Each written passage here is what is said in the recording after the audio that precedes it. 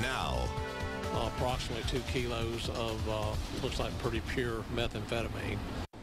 What started as a courtesy stop by a Mobile sheriff's deputy ends tonight with a significant drug bust. News 5's Dana Winter is live on the scene where the department says so far they found two kilos of methamphetamine. And Dana, why is the sheriff's office saying so far when talking about how much meth they found?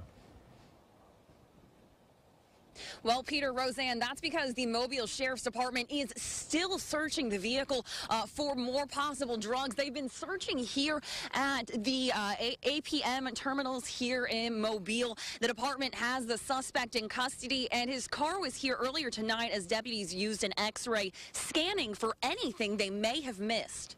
You know, I-10 is a major corridor. Captain Paul Burch with the Mobile County Sheriff's Department tells News 5 this drug bust was unplanned. It was, you know, an officer being courteous uh, to stop and assist someone and, and, led to, you know, a significant drug arrest.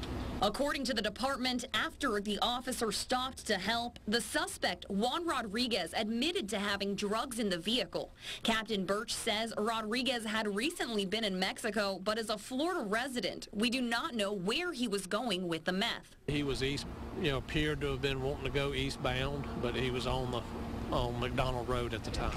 Doesn't matter where I was headed.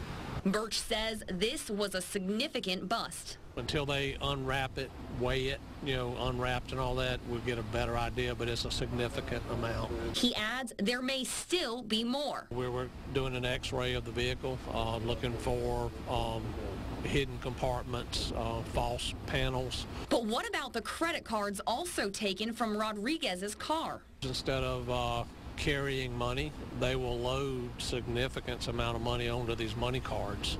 Um, and it won't be until we can, you know, access that those accounts tomorrow and determine how much money are on the cards. When we spoke to Rodriguez, he didn't have too much to say about his arrest, but he did have this much to say.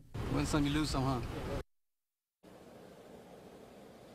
Captain Burch with the Mobile Sheriff's Department says meth is a problem here in Mobile County. So far, they found two kilos of it in Rodriguez's vehicle, but deputies could still find more, and we will update you with they do, if they do on our website, WKRG.com. Reporting live in Mobile tonight, Dana Winter, WKRG News 5, local coverage you can count on.